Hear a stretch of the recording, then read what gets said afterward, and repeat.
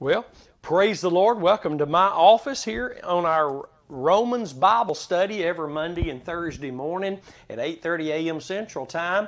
You can also find them after we've done them uploaded to the YouTube channel Curtis Hutchinson 316 and the website thecrosswaychurch.com and uh, I hope that you would go and listen, listen again, and I really, really hope and pray the Lord would stir your heart enough to share these broadcasts on your social media, under your social media. If you want to help us spread the word, publish God's word as it is written in truth with a righteous effect to it, then I encourage you uh, to stick with us to learn. God has given us a great uh, illumination in these last days. Those who He's bringing back to faith and grace, which is faith in the cross of His Son Jesus Christ and that alone, and you will be beyond blessed.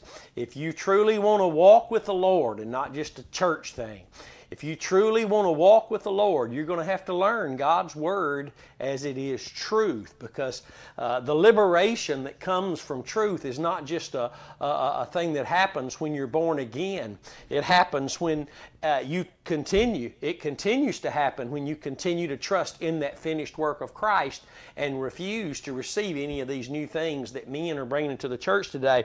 And I want to get right into this today. We only do a half hour in these sessions and and so uh, time runs out so quick. So we're in Romans chapter 11. We'll start in verse 9. And again, these are Monday and Thursday mornings at 8:30 a.m. Central Time.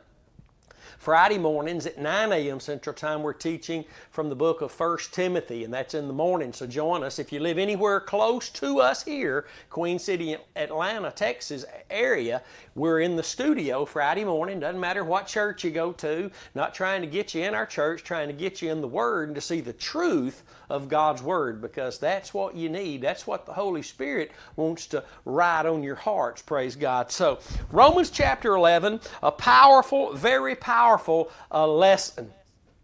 Many, and I'd say most time, uh, the, the Romans chapter 11 is, is, is not understood. It's, it's actually rebuked by many, many thousands and thousands of preachers. There's a rebuke from them to the Lord by twisting His Word, taking it out of its uh, meaning. And so that's what we're doing, even if we do it in ignorance and we don't know we're doing it. Uh, when we change God's Word, alter God's Word, or try to teach that it means something that it's not saying, then it's our rebuke upon the Lord. And Peter, he got in trouble for that, but thank God he kept going and finally would step into the understanding. And, and some today are finally stepping into the understanding. And I pray that you would be one of those people as we move through this. But the first thing I want to talk about today, and I'm staying right here where we were in the last session just for a moment, because it's very important that we understand uh, what Paul is building here toward this church, born again, spirit filled church in Roman, in Rome, is what he's talking about here.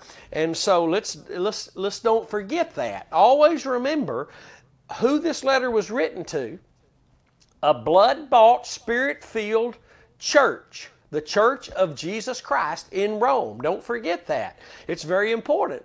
Uh, so the warnings that come, they're not to the world, they're to the church, just like Revelation. The book of Revelation is, is the first uh, two or three chapters there is, is not to the world, it's to the church. The Lord knocking on the heart, trying to get in back into fellowship. That's to the church. That's not to the world. We use that as an as as, as uh, something to the world. And, and we can to a certain degree if we're calling the knock on the heart by God the preaching of the cross of Jesus Christ, the gospel of Jesus Christ, because that is the knock on the door of any heart, whether it's a lost heart or it's a saved soul who's moved out of a place with communion and fellowship with the Lord through simple childlike faith in the cross of Christ, His sacrificial work there alone. For only faith in that, can we commune with God?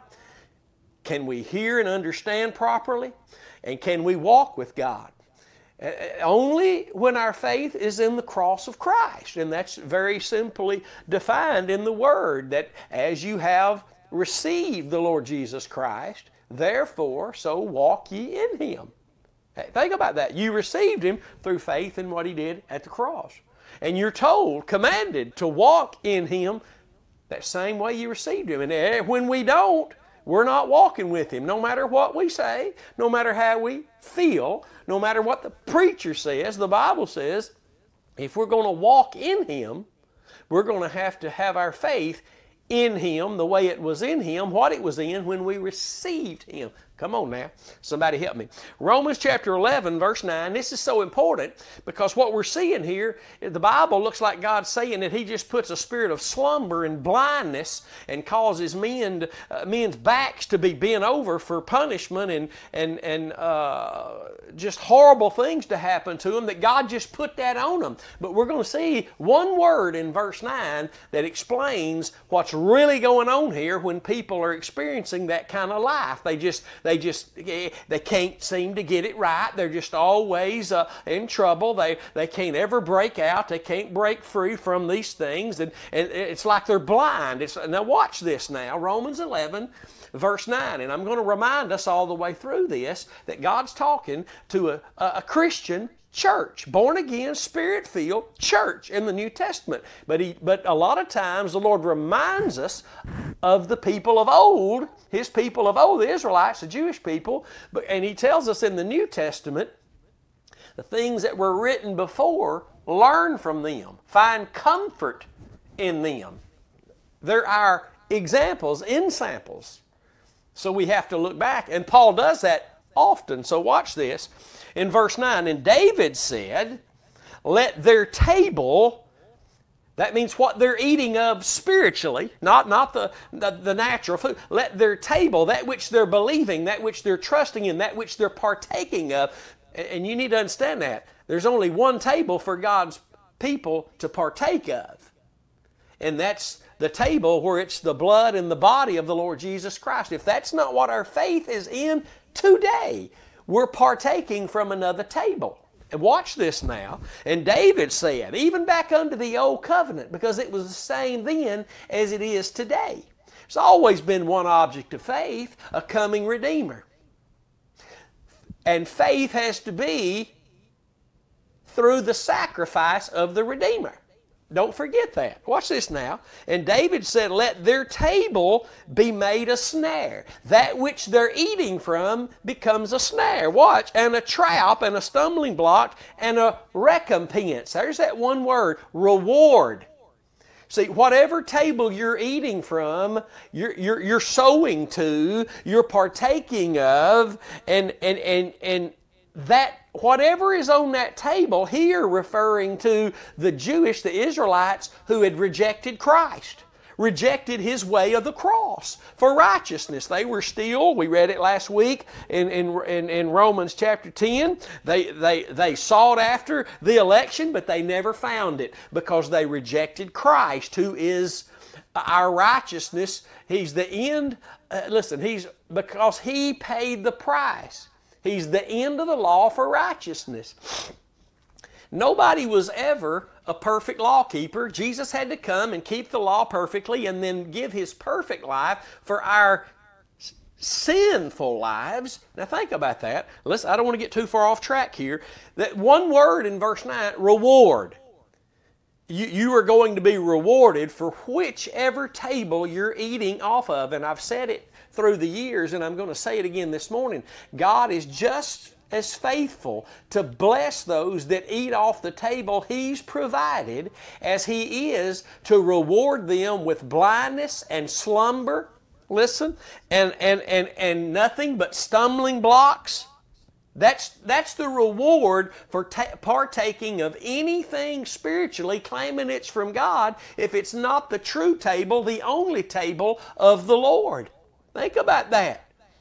The only table is the way of Christ and His cross. Jesus said, and, again, the table represents that which we're eating from spiritually. Jesus said, If you don't eat my flesh and drink my blood, you have no life within you. Well, there's another one of those scriptures we've used for the initial born again experience, but because we've not known the way of sanctification through the Spirit, because we've not known these truths of that we must keep our faith in the cross and all these things that men offer offer, if they're not pointing us to the cross, but rather doing these things, then God will, that, that's, those are lies. That's a table that the church has eaten off of for decades. Hear me.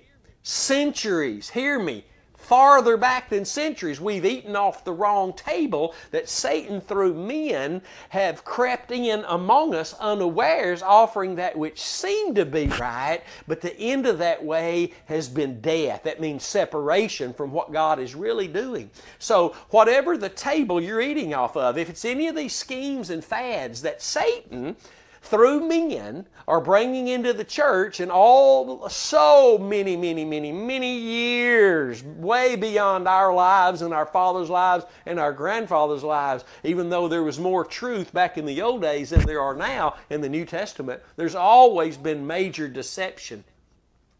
The deception is this that there's somewhere else to partake of that can get you what God is offering other than the table God has prepared for you, which is the table with the blood and the body of Jesus Christ. Faith in that alone. That alone.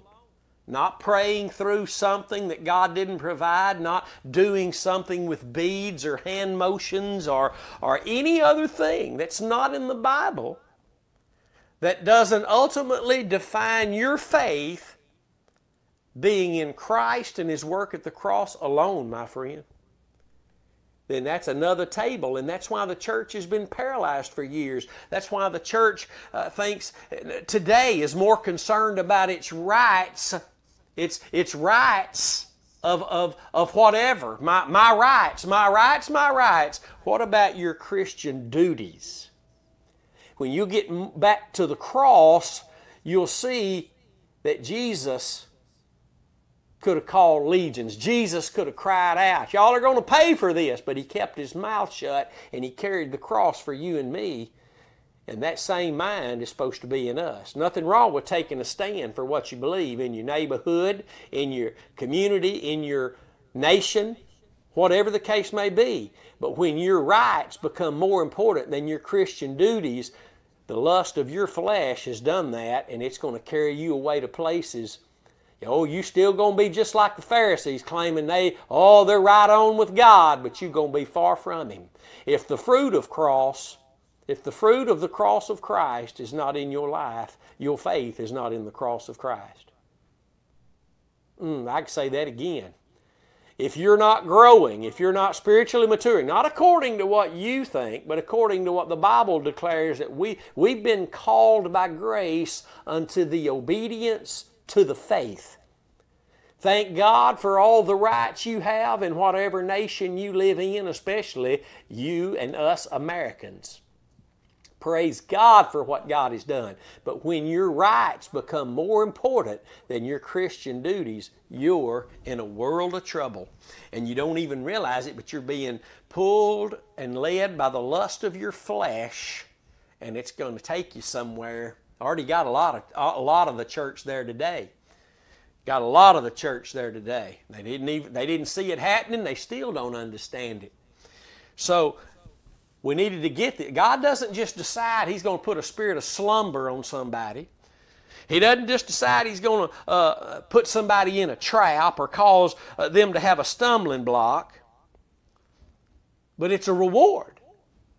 It's a reward because they've rejected Christ. And let me say it again God is just as faithful to bless those that come to Him through faith in the cross alone and remain in that faith as He is t- to allow, to reward those who reject that way with traps and snares and stumbling blocks because they're really doing it to themselves. Let's always go back to Cain and Abel.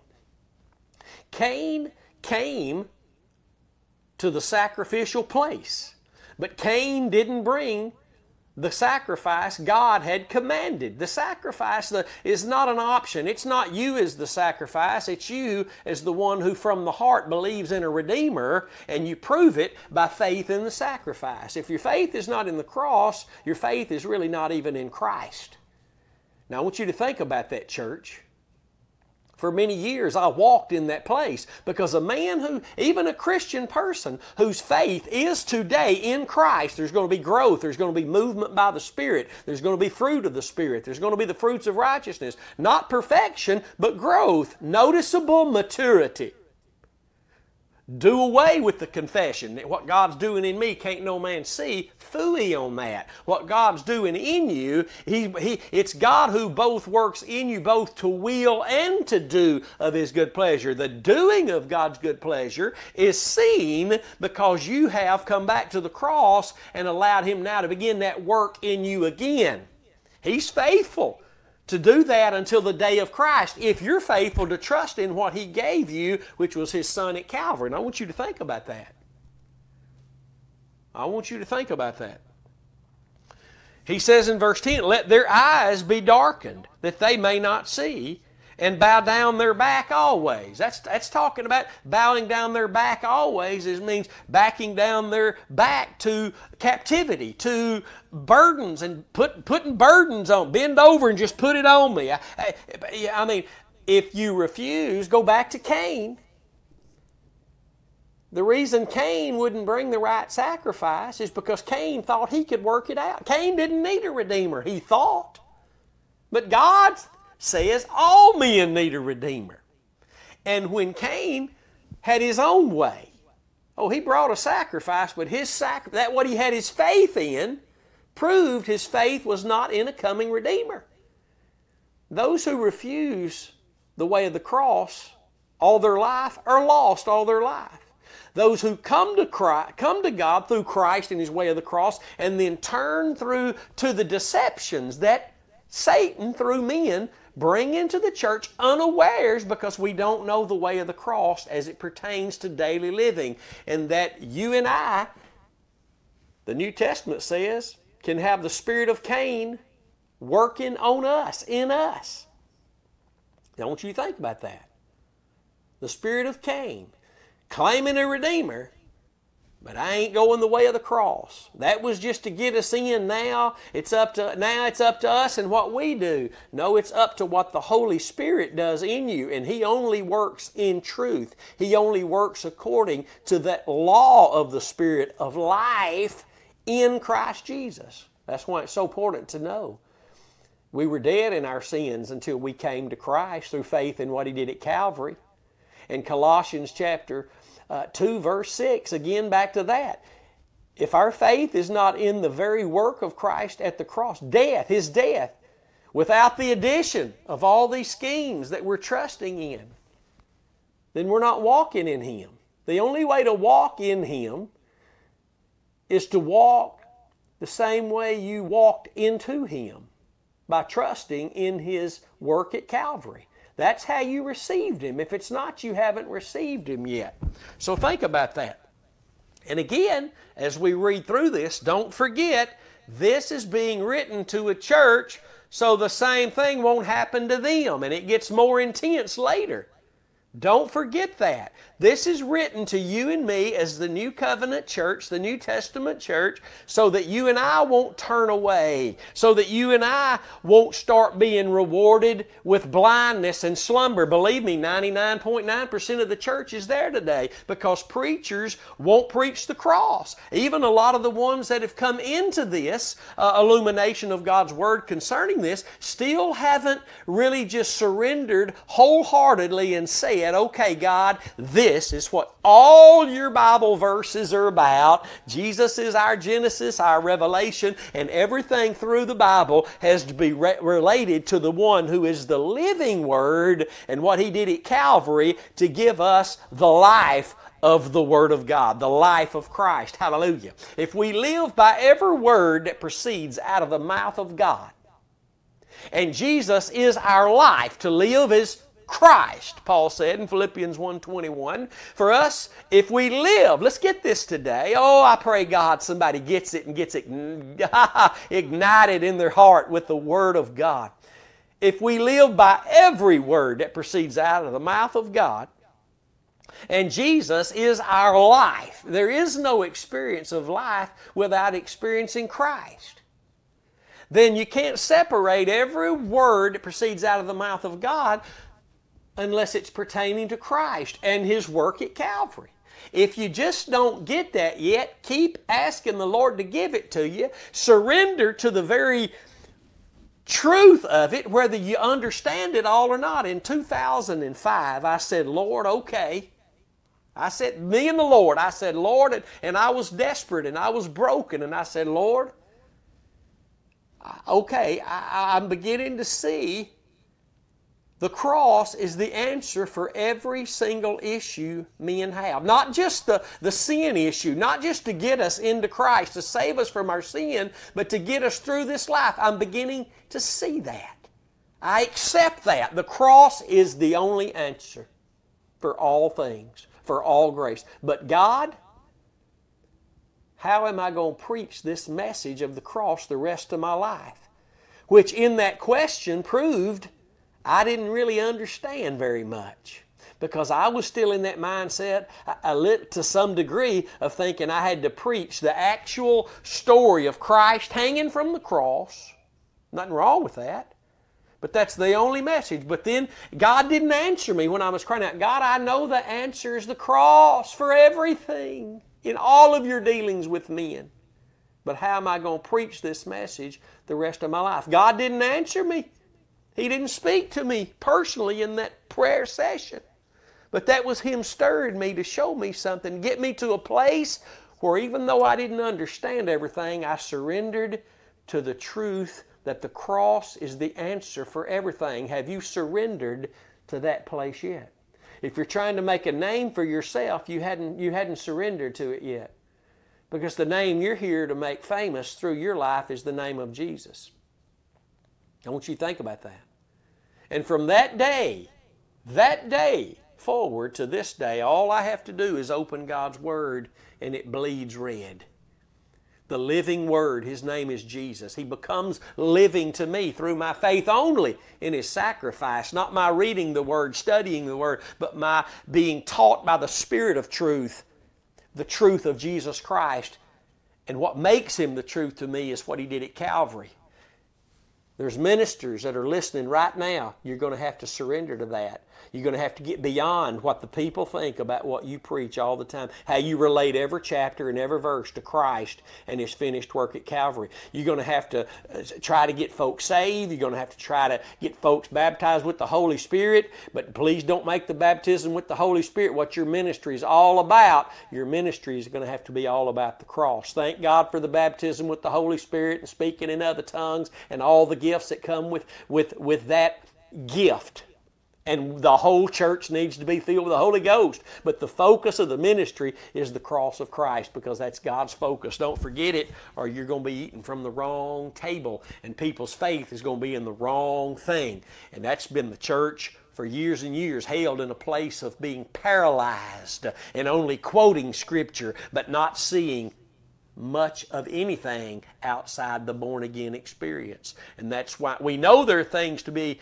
uh, in existence among the church, but because we've not known the way of sanctification through the Spirit, we've not known the only avenue through which God works, being the law of the Spirit of life in Christ Jesus. And we throw out scriptures of old, Psalms 33 and 4, that says, The word of the Lord is right, and all his works are done in truth we throw those out, and when we do, we open the doors wide to every wind of doctrine that wants to sweep into the church and blow us around. But praise God, those days are over.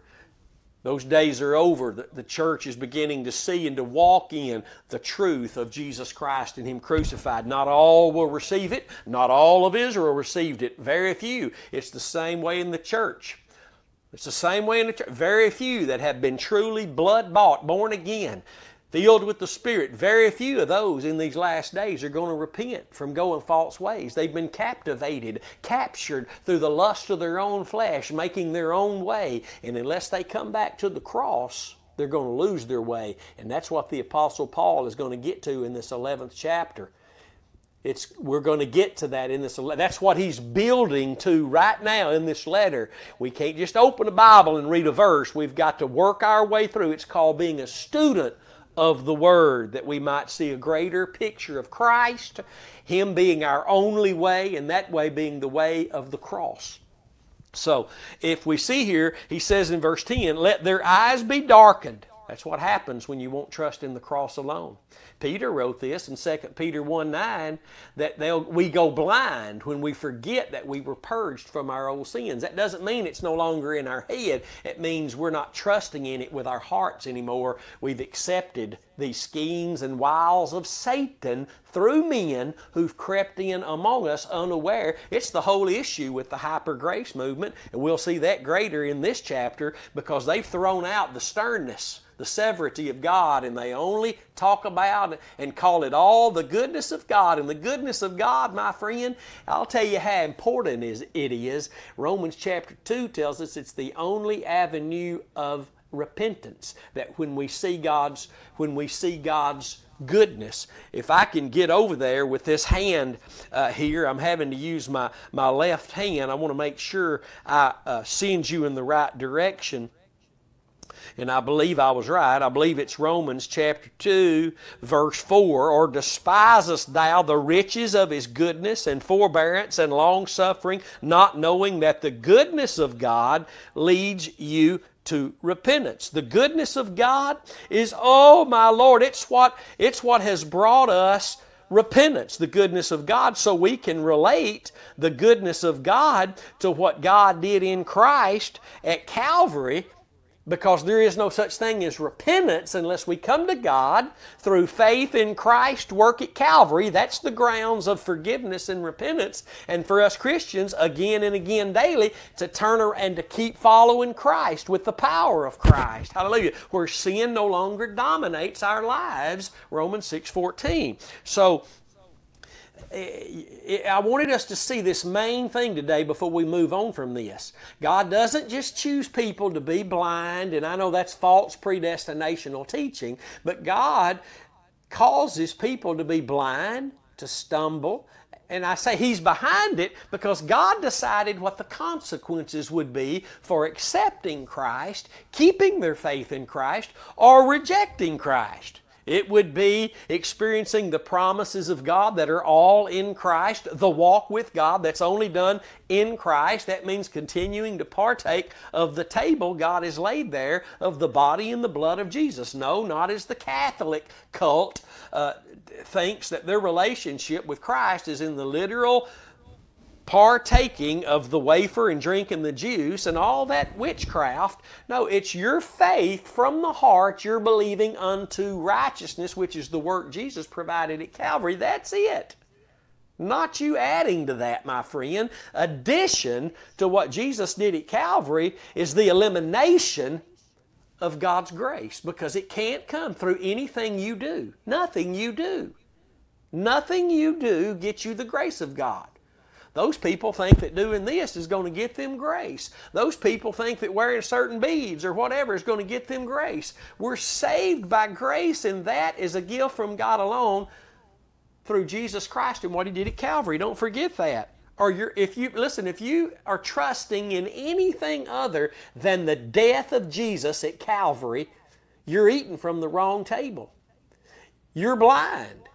You've gone blind. You're stumbling and, and, and, and, and, you, and you continually bow your backs to the destruction that can't help but come because sowing to the flesh can only reap corruption. That's what uh, lowing down, bowing down their back always means.